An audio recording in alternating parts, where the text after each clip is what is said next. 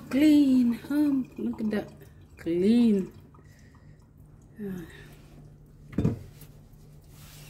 Hello my beautiful people. Thank you for clicking on our video. So today we are going to prepare a South Sudanese traditional village a dry fish soup. So this is a tilapia. It's one of my auntie who dried it and she brought it in from Brisbane and she left this for us in here. So I already washed it. Wash it thoroughly with warm water and salt but warm water is, is enough because literally she did it at home. So i had two large tilapia here and the heads are there. We are not throwing it too we're going to cook it with it. And then here we're having peanut butter. Don't put too much peanut butter. Just a little bit of peanut butter like this much is enough. And here we have salt and then we have um maggi cube. And also what we're going to tomatoes so it will give it a really nice taste. So we're having very very basic ingredients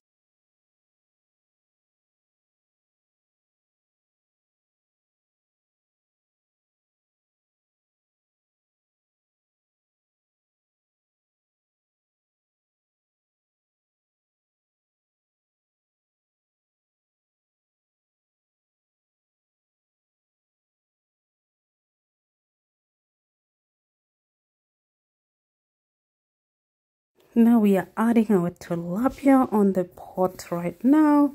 Please don't fry your dry fish or do not uh, add oil. The reason is uh, the oil it's the the fish itself is oily and also the the peanut butter is oily. Just add the salt and add maggi cube or stock beef stock. You know add on it. It boil like for 30 minutes then check it. And then we're going to pour our blended tomatoes. Blended tomatoes is for the taste. It gives so much fresh flavor for the dish.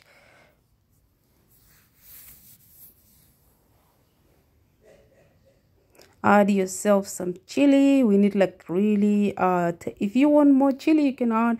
If you if you want less just put a little bit of chili you know look at that the color just becoming beautiful very vibrant. And please when you stir the dish don't stir it uh, really hard because we don't want broken uh, dry fish. We wanted the fish as whole.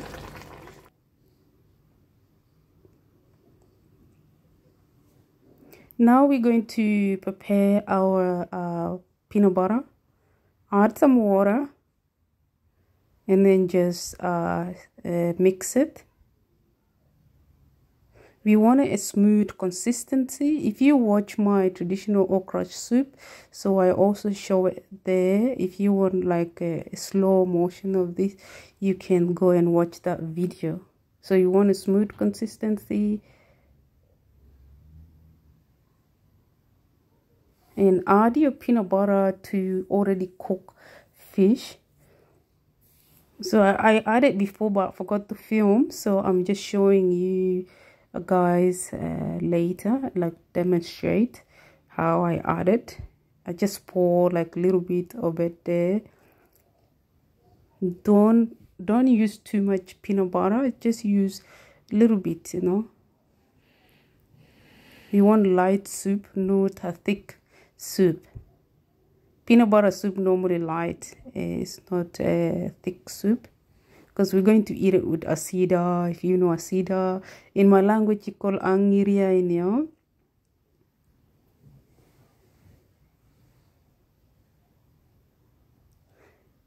you know this this this dish was something else. It was so delicious. I miss it. I miss it so much and it just came into my mind and i started recording this video and the taste was amazing. Everybody loved it in the household.